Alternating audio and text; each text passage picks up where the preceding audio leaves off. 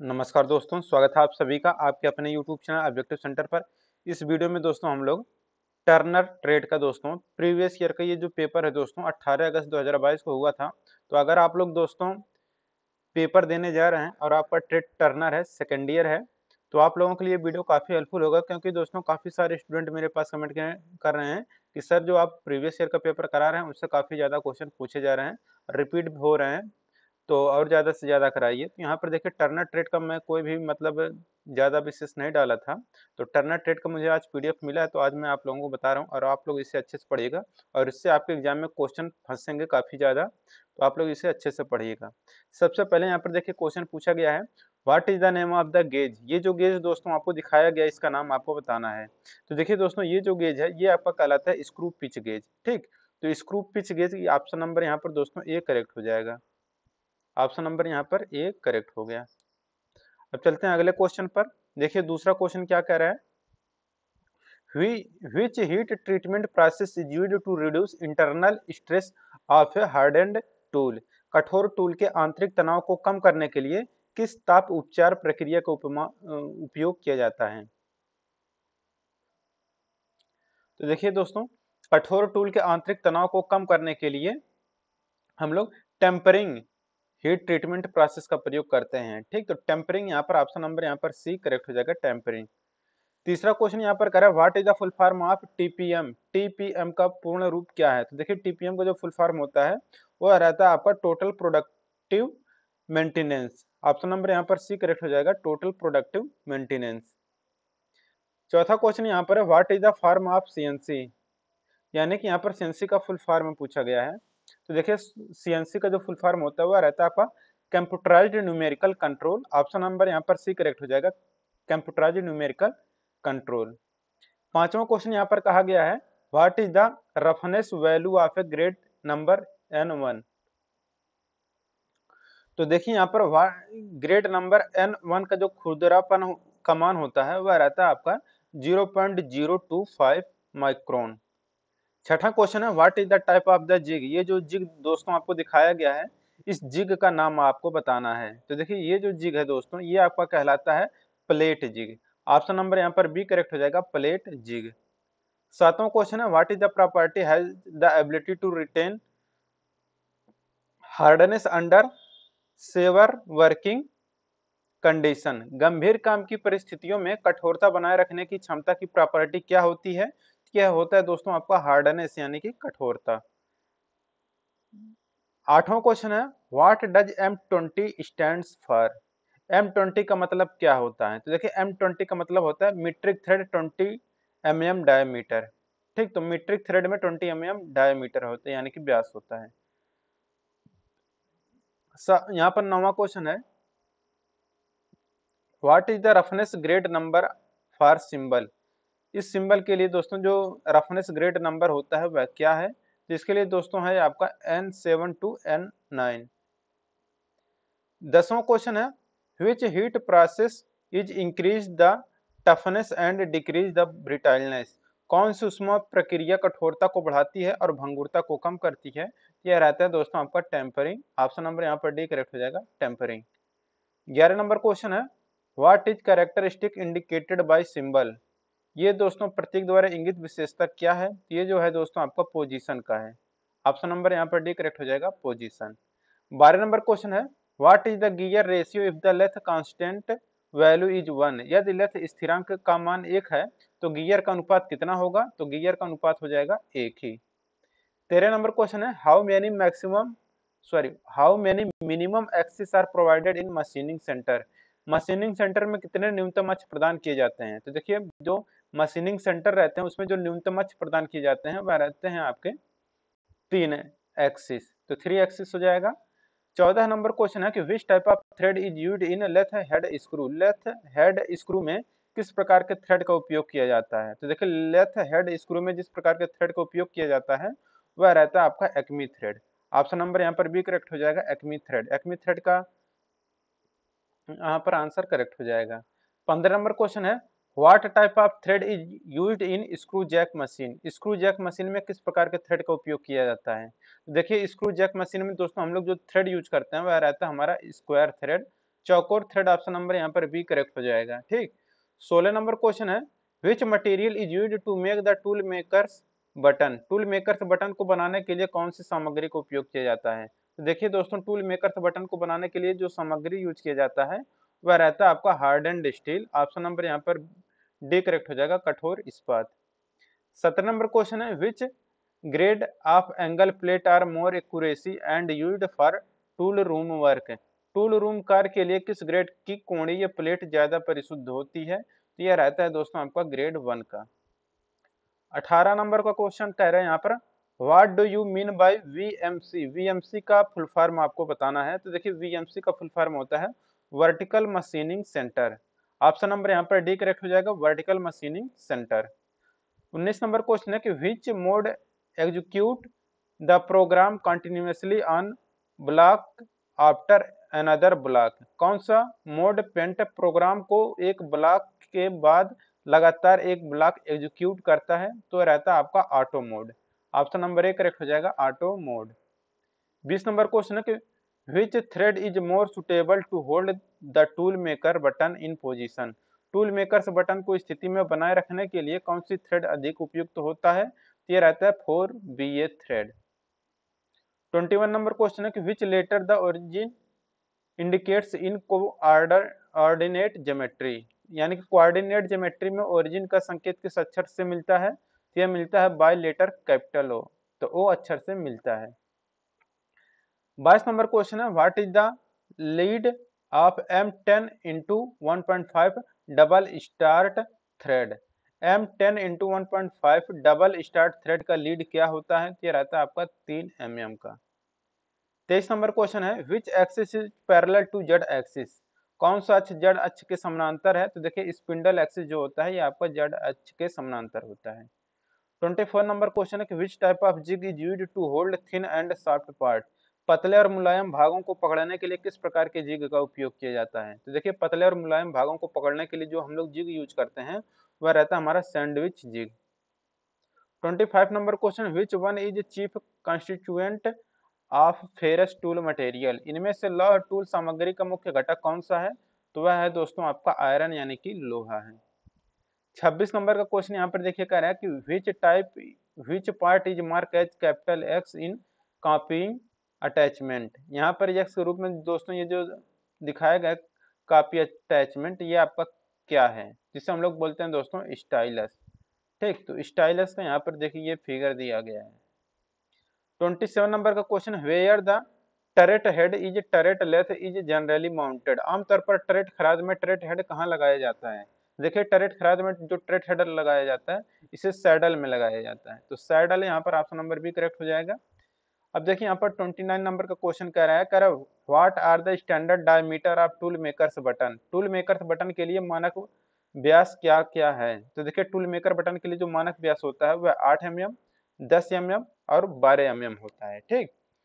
Twenty nine number question है which part of lathe is use to catch thread quickly thread के किस भाग का उपयोग थ्रेड को कैच करने के लिए किया जाता है? तो ये रहता है आपका दोस्तों चेसिंग डायल तो चेसिंग डायल हो जाएगा, आपका ऑप्शन नंबर बी करेक्ट हो जाएगा। तीस नंबर का क्वेश्चन करें what is the name of the instrument ये जो इंस्ट्रूमेंट आपको दिखाया गया है, इसका नाम आपको बताना है। देखिए दोस्तों, ये जो इंस्ट्रूमेंट है, ये आपका टेलीस्कोपिक गेज का है। ऑप्शन नंबर डी करेक्ट हो जाएगा। थर्टी वन नंबर क्वेश्चन है what is the device use in lathe lathe में दोस्तों, ये कौन सा डिवाइस दिखाया गया है? तो ये जो डिवाइस है दोस्तों, ये आपका कहलाता है turning fixture option number D correct हो जाएगा।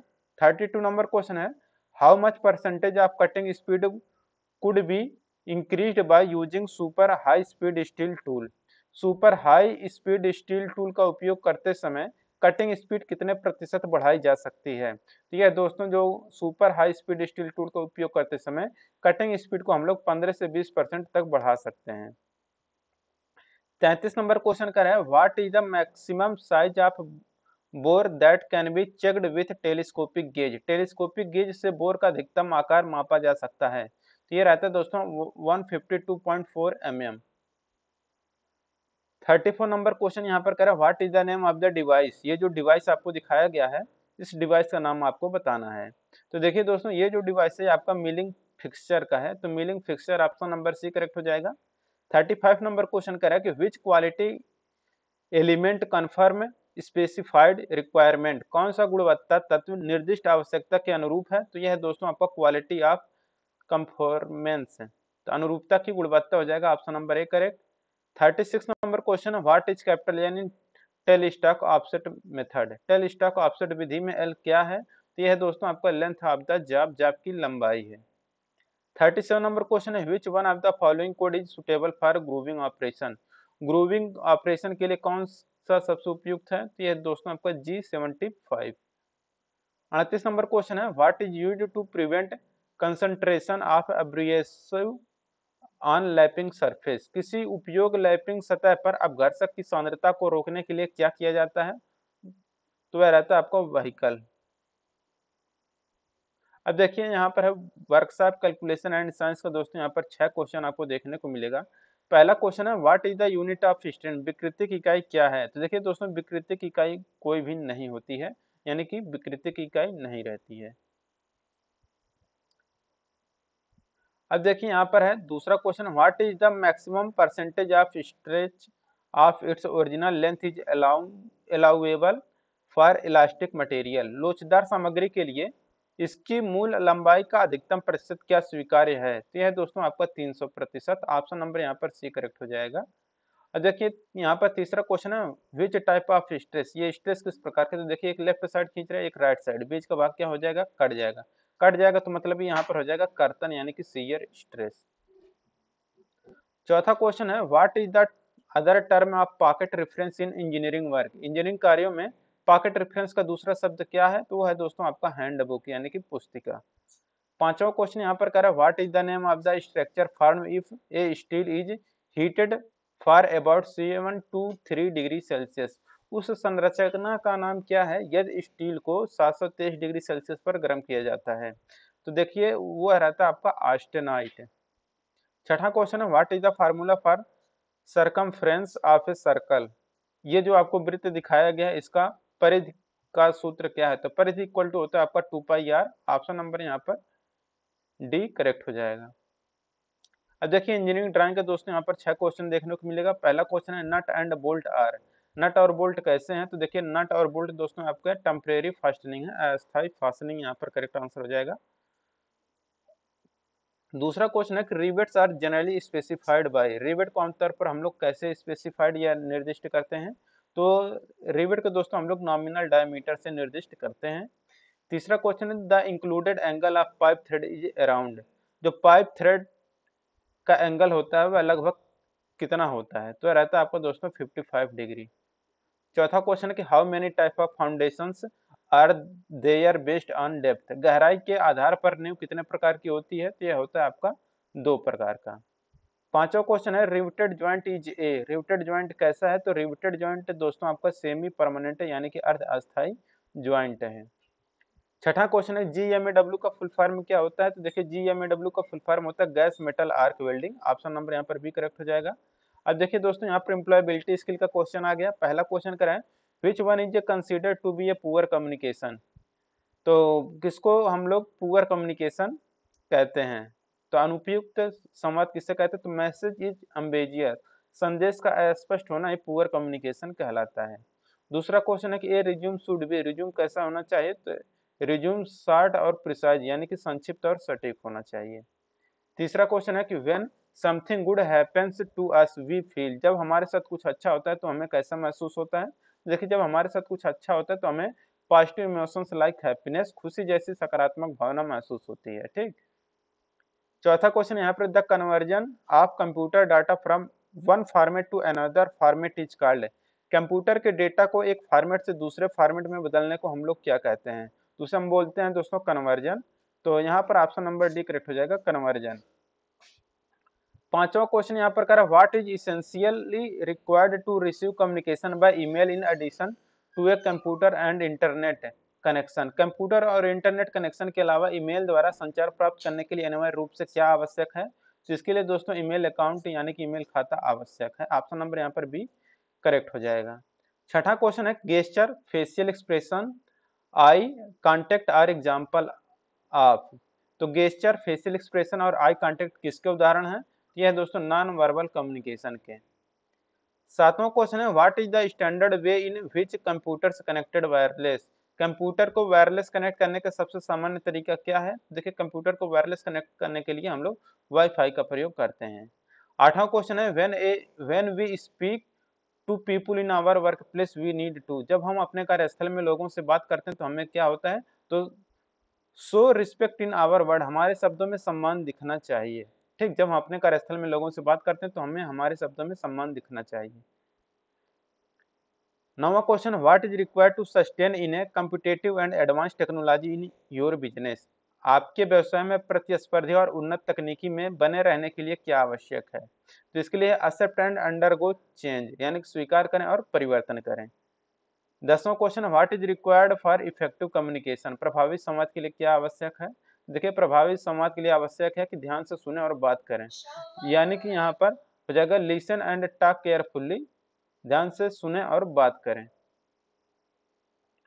ग्यारह नंबर क्वेश्चन है which wireless technology standard use for exchanging data between fixed and mobile device over short distance कम दूरी पर स्थिर और मोबाइल डिवाइसिस के बीच डेटा का आदान प्रदान करने के लिए किस वायरलेस टेक्नोलॉजी स्टैंडर्ड का उपयोग किया जाता है? तो इसके लिए ब्लूटूथ का प्रयोग किया जाता है। ऑप्शन नंबर यहाँ पर बी करेक्ट हो जाएगा।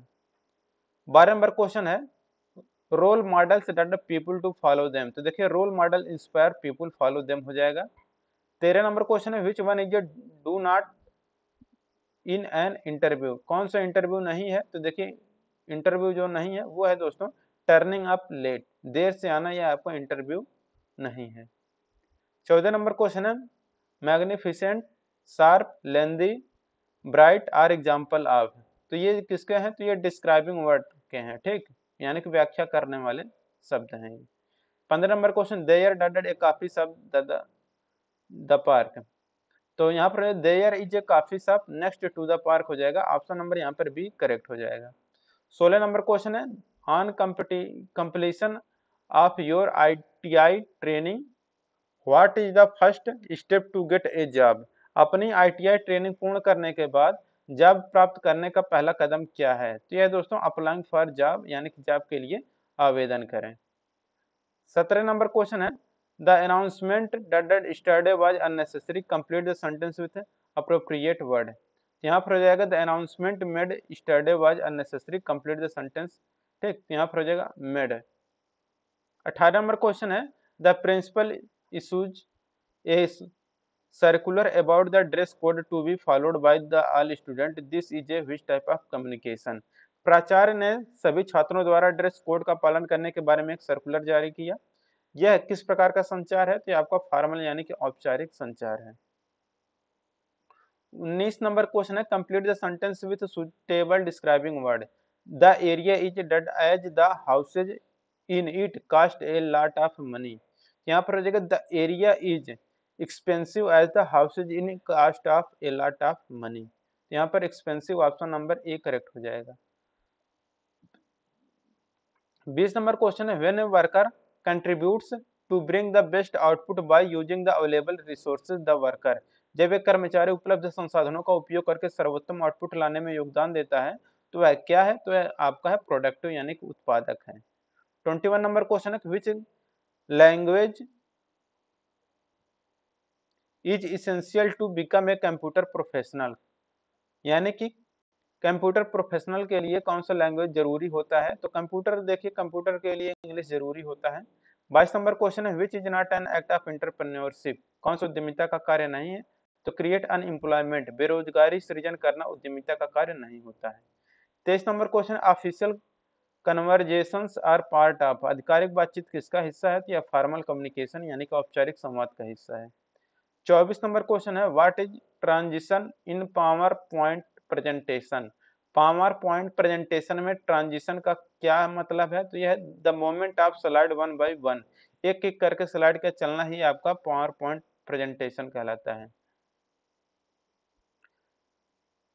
पच्चीस नंबर क्वेश्चन है negative feedback is usually given सामान्य रूप से नकारात्मक फीडबैक कैसे दिया जाता है? या कंस्ट्रक्टिवली यानी कि रचनात्मक रूप से दिया जाता है। तो 25 के यहाँ पर डी आंसर करेक्ट हो जाएगा।